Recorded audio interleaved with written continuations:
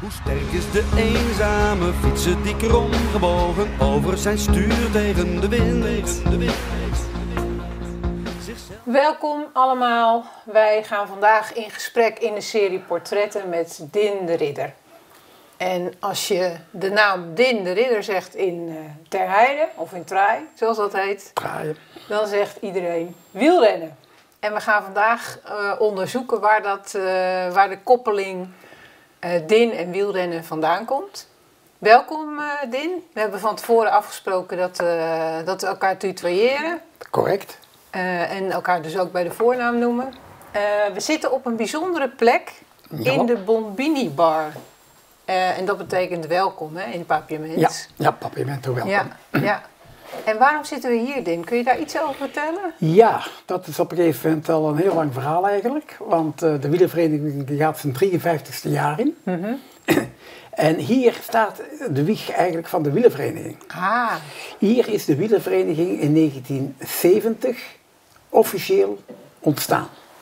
Dat vooraf was op een gegeven moment, eh, heeft Henk Razenberg, eigenaar hier van de Bombini Bar, die, eh, die was ook eh wielrenner zelf, Ja. hè, als hobby.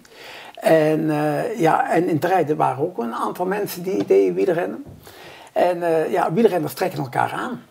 Dus, en wat is dan mooier dan in een barretje bij elkaar gaan zitten onder het genot van een glaasje bier, ja. om eens eventjes daarover te praten. ja. En zodoende kwamen wij op een gegeven moment bij elkaar.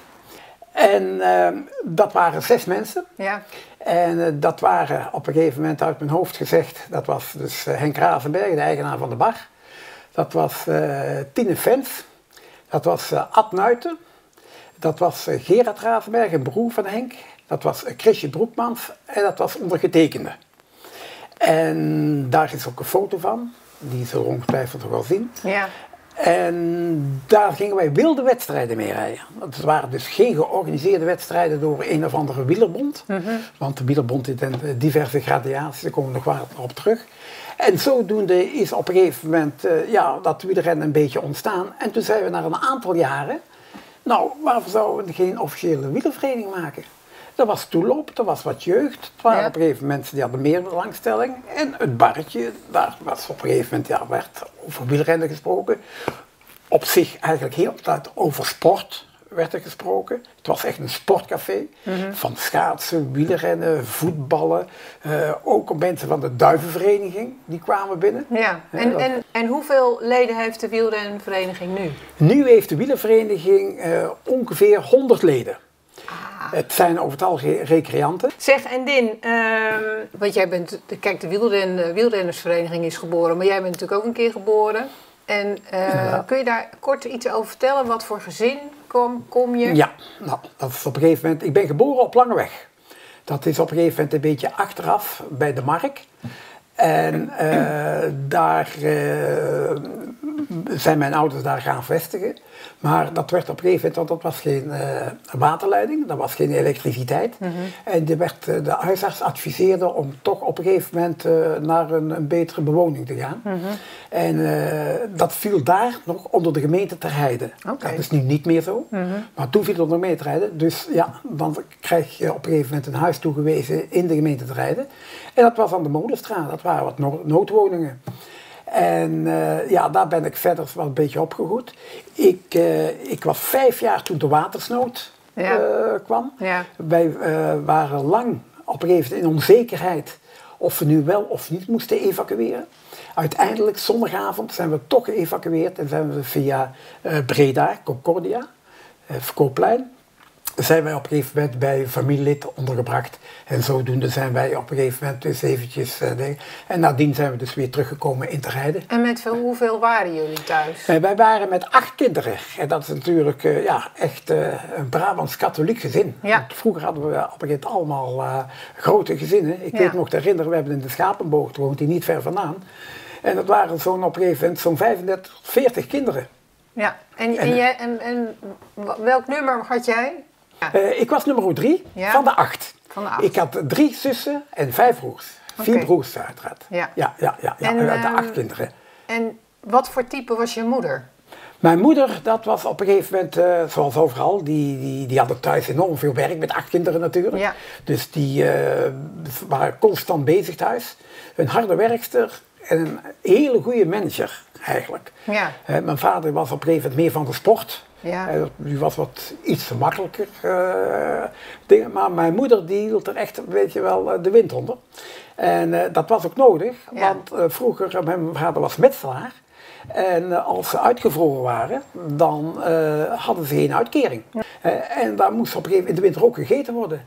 Met een gezin van tien mensen. En jouw moeder was eigenlijk een soort eh, directeur bedrijfsvoering. Ja, ja, CEO of directeur van, van de zaak. Ja, Dat, en je eh, vader was de, de, ja, de die gegeven ja, ja, en dat was op weer de kostwinner, hè? Want Ja. die moest op een gegeven moment het geld binnenbrengen. Ja, en jij Ja. vertelde mij, want we hebben natuurlijk een voorgesprekje Ja. gehad, dat eh, jouw vader eh, van Terheide naar Baarle-Nassau fietste. Ja, mijn vader was ook heel sportief aangelegd. Ja. Ik, eh, op een gegeven moment, hier staat zijn fietsje nog, die hebben wij Ah. bewaard. Dat is op een gegeven moment, dat fietsje is 70 jaar oud. Jeetje. En hij was een eh, fervent fietser. Dus dat was gelijk een beetje de training. Maar ja, vroeger op een gegeven moment eh, gingen ze overal met de fiets naartoe. En Metselaar, hij had wel een uitvoerder bij zich. Of een, een, een, een opperman, zoals Ja, ze dat toen ja. zeiden. En eh, dat was op een gegeven moment best zwaar werk natuurlijk. En dan ook nog op fietsje met eh, dingen. Ja. Want hoeveel kilometer is dat dan niet? De Balenaf is ongeveer tussen de 25 en de 30 kilometer hier vandaan. Enkele reis. Ja, enkele reis. Ja, Dus ja, eerst ja. de hele dag eerst fietsen, Ja, dan hard werken en dan weer het hele stuk ja, terug. Ja, ja, ja. Vroeger was er natuurlijk niet zoveel stress. Hè? Vroeger was het meer van eh, rustig aan. Als vandaag niet klaar is, dan morgen wel. Ja. Eh, dat, dat scheelt natuurlijk wel enorm. Maar die mensen hebben wel verschrikkelijk hard gewerkt. Ja. Dat eh dingen zowel moeder thuis als vader op een gegeven moment op de steiger. Dat, eh, En wat, wat heb je, wat heb je van, van, van allebei meegekregen? Nou, als ik dat op een analyse maak, dan is het niet zo moeilijk. Dan heb ik de sportgenen van mijn vader Ja. en de managementgenen van mijn moeder. Ja, ja. Dat, eh, denk ik, dat is duidelijk, ik had van alle twee wat. En wat, Dus- heb- wat hebben ze jou meegegeven? Wat, heb je, wat, is, wat is iets wat je uit je opvoeding is blijven ja, hangen? Dus, dus op een gegeven moment eh, respect tegenover de ouderen. Ja, Eh, ook op een gegeven moment ben eerlijk. Ja? Ver- vertelt het echte verhaal. Ook al is dat op een gegeven moment soms niet altijd even prettig. Mhm. Hè? Dat, en, en doe je best. En hard Doe- werken begreep ik En van hard jou. werken, doe je best. Ja. Doe je best, hè. Dat op een gegeven moment, het maakt er wat van. We waren, ondanks dat op een gegeven moment dus, eh, het allemaal niet zoveel weelde was, eh, konden wij doen en laten wat we wilden. Als we mochten, wilden studeren, Ja, dan konden we studeren. ja, Hè, er zijn veel eh, broers op een gegeven moment, die zijn op een gegeven moment, ja, werken met handen. Maar ik ging op een gegeven moment wat verder. Ik heb de middel A en B gedaan. B was op een gegeven moment wiskunde natuurkunde Ja. erbij. En eh, daarna heb ik gekozen voor het werk. Mhm. Eh, en dan kwam ik bij de Belastingdienst uit. ja, En dat was een voordeeltje, in die zin, dat mijn, eh, ik zat op een gegeven moment dus bij de Belastingdienst, maar ik moest ook nog een militaire dienst. Want vroeger waren de, de twee oudsten van een gezin, Ja, die waren verplicht om ja. militaire dienst te gaan. ja. Ik moest ook militaire dienst en eh, dat was een voordeel als je bij het Rijk werkte. Want dan kreeg ik na een jaar kreeg ik een salaris. En ik was TS'er, technisch specialist, telegrafist, telefonist. En eh, dan moest ik op een gegeven moment zes maanden langer. Dat, eh, de- maar die zes maanden werden betaald door op een gegeven moment de overheid, waar ik in dienst was, de Belastingdienst. ja. En dat vond mijn moeder wel een meevaller. Ja. Hey, Als ik zeg van een bruiloft komt een bruiloft, wat Ja. zeg jij dan? Ja, dat klopt. dat klopt. Dat, eh, ik, eh, ik op een gegeven moment, ik, eh, ik woon samen met, eh, met Ruud Jong. En die is geboren in Cameroen. En die werkt in de, in de verzorging. Al op een gegeven moment heel lang. Ja. En eh, ja, ik ben daar ook, ook vaak geweest in, in Cameroen. En je bent ook eh, vader, Ja, je hebt een dochter ja, ja. ja en je bent ook grootvader. Eh, ja. Dat, dingen, ja, ja, dat op een gegeven moment, eh, kinderen, dat is altijd iets bijzonders voor mij. Op een gegeven moment, ik, ik, ik, ik heb daar altijd een bijzondere passie van. Het, is, het is wel zo, de, de kleindochter is op een gegeven moment is van Cathy. Ja. die op een gegeven moment, die, ja, die heeft op een gegeven moment Imara. En eh, ja, daar zijn wij op een gegeven moment als, als ouders, eh, als grootouders heel gek mee. Ja, Dat, eh, ja. ja, ja, ja. En Din, we komen nu bij het wielrennen. En kun je iets vertellen over wat je allemaal gedaan, gedaan hebt. Ja. wielerrennen. Toen kwam die wielerrennerij en we hadden zo'n groepje. En, en toen we eigenlijk besloten om zeg maar een vereniging te gaan exploiteren. Ja, dan moest er op een gegeven bestuur komen. Een manager en, een manager. En een, en een voorzitter. Ja. Eigenlijk op een gegeven moment. Aanvankelijk hadden wij Jo Hoogveld, dat was hier een loodgieter, die was ook heel begaan met het wielrennen. Maar die zei: Ja, ik heb daar geen tijd voor. Dat, eh. Nou, toen heb ik op een gegeven moment eh, de handschoenen opgepakt. En met mijn 22e jaar was ik voorzitter van de wielervereniging. En wij hadden de intentie om op een gegeven moment vooral de jeugd te stimuleren. Want ja, dat was toch ook op een gegeven moment een mooie sport wielrennen. Eh, individueel, je kon je eigen helemaal ontplooien, persoonlijk. Dus toen heb ik eh, op een gegeven moment hebben we opgezet, zeg, wat is onze doelstelling? Ja, onze doelstelling is uitbreiden, jeugd op een gegeven moment, alles. En eh, toen zijn wij aangesloten bij de BWF. En die, die mensen die dan toch al een beetje recreatief, maar toch in het weekend een wedstrijdje Mhm. reden, die konden daar bij die bonden terecht. Maar die konden niet bij de KMU terecht. Toen op een gegeven moment was er toch weer wel behoefte aan. En zeiden we van, waarom zouden wij ook niet ons aansluiten bij de KNWU? Dan kunnen we op een gegeven moment nog een hoger niveau bereiken. Ja. En, dat dingen. Maar daar waren wel heel veel voorwaarden aan verbonden. Dat, eh, dingen. Je moest gekeurd worden, je moest een licentie kopen. Daar werd op een gegeven moment heel veel gevraagd van de wielervereniging. De, als je sponsorde moest je een bepaald bedrag afstaan aan, de, aan de KMU. Eh, je moest op een gegeven moment een ploegleiderscursus volgen. Heb je ook gedaan? Heb ik ook gedaan. Ja. Een trainerscursus. Heb je ook een, gedaan? Een jurycursus. Heb je ook gedaan? Dus nee, maar op een gegeven moment waren er meerdere, want ook in Gravenberg, die had ook een trainersdiploma. En Toon Schrouwen, de hoofdonderwijzer hier in te rijden, die Ja. had ook een diploma. Ja. En op een gegeven moment, Ad Nuiten, die hadden we ook een, moesten een beetje pushen, die werd dan ook ploegleider. Dat, eh, je. Dus wij waren op een gegeven moment, qua kader, waren wij op een gegeven moment allemaal gecertificeerd. Ja, dat is heel. Dus- bijzonder, Dus, toch? wij hadden een hele goede basis Ja, we gecreëerd. dat ik wou nog ik. eventjes naar het buitenland toe. Ja. Als vanzelfsprekend. Want ik heb natuurlijk zowel eh, lokaal, eh, regionaal, nationaal als internationaal Ja, gewerkt. ja. En mijn, mijn wielerniveau was niet bijzonder, was meer recreatief, maar met de, beide benen eh, tussen de mensen staan, Ja. horen wat er aan is. Ja. En zo ben ik op een gegeven moment dus ook voorzitter geworden van de Vereniging van Organisatoren van Beroepswielerrenwedstrijden. Ja. En als zodanig, eh, er waren die tijd na de Tour de France, waren daar op een gegeven moment zowel 25, 30 criteria. En iedere organisator die nodigde zijn voorzitter uit om op te, te praten of wat problemen op te lossen. En als zodanig zat ik ook in de sectie beroepswielrennen. En daar trof ik dus ook op een gegeven moment andere mensen aan. Wijle Hein Verbrugge. Hein Verbrugge die was op een gegeven moment de voorzitter van de UCI, Union Cycliste International.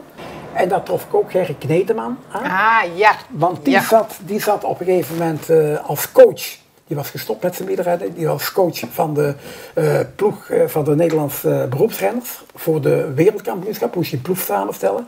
En daar heb ik vijf jaar mee opgetrokken in die sectie beroepswielrennen. En, en daarnaast wil ik op een gegeven moment dus zeggen dat ik op een gegeven moment ook baantrainer ben geweest.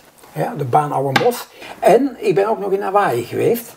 En dat was op een gegeven moment ook een wielerploeg, onder leiding ook als ploegleider Henk Radenberg. En ik was daar op een gegeven moment ook eh, naartoe gegaan als eh, privé. En daar, eh, in die ploeg zat ook Servus Knaven. En die won die klassieker. Dat, die, die, die. En wij wisten dat niet, want het was wel een meevaller. En daarna was nog Halloween. Dus dat hebben we ook nog gevierd. We hebben nog een paar dagen aangeplakt. Dus vandaar op een gegeven moment. en ik ben met een baanploeg naar Oost-Berlijn geweest. En dat was op een gegeven moment ook een hele gewaarwording, want eh, het was as en grauw Oost-Berlijn. Kwamen we aan de, aan de grens. Moesten we natuurlijk onze paspoorten laten zien. Zo. En ik had er één jongen bij en die had zijn paspoort niet bij. En toen zei ik van, en nu hebben we een probleem. Want nu kun je denk ik zelf neutraal. Maar Oost-Duitsland was heel wieler-minded. Ja. Dat eh, ontzettend wielerminded. Die reed ook hier in de Olympia toe met een baanploeg. En eh, die op een gegeven moment die fiets allemaal bovenop staan. Tegenwoordig is dat niet meer. Maar die, en die gaven ons op een gegeven moment coulance. Ja, Die ja. oké. Maar wat ze met je paspoort deden, die eh boffelden ze weg. En dan onder een transportband. En dan eh 400, 500 meter verder kon je dat ding halen. Maar wat ze met je paspoort gedaan hebben, dat weet je niet. Dat zag je niet en dat hoorde niet. Ja. Maar Din, helaas, we moeten, we moeten gaan afronden. Ja. Eh, we kunnen denk ik wel zes of zeven eh, Ja, zes, zeven afleveringen. Ik ben- afleveringen maken. Ik ben beschikbaar. Uh, ik denk dat het uh, duidelijk is geworden uh, wat de redenen zijn geweest waarom je zo verknocht bent aan het wielrennen. Wat je allemaal gedaan hebt. Ja, ja enorm veel bewondering daarvoor. Ja, ja, En heel veel dank voor dit gesprek. Graag gedaan. En ik hoop en ik wens je nog vele mooie wielertochten toe. Dankjewel, ja, Dick. Ja, oké, graag gedaan. De eerste rondes bij elkaar. Ik wens jullie een goede koers. Let op elkaar, denk aan de veiligheid. Chantal, ik tel af en bij drie dan mag jij ze afschieten. 1, 2, 3. Heren coureurs, goede wedstrijd. En daar zijn ze weg. De mannen uit de heide.